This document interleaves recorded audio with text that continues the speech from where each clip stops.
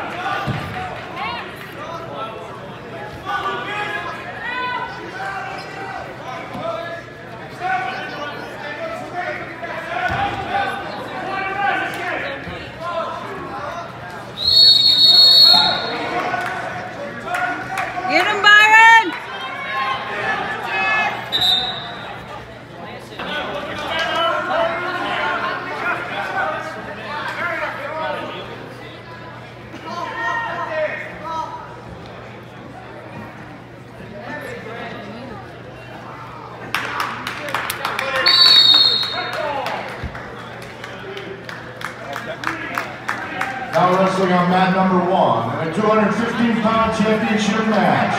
From Pittsburgh, he beat Kimmel Hughes. From Blissfield, he beat Brian Gates. Gates Hughes, mat number one.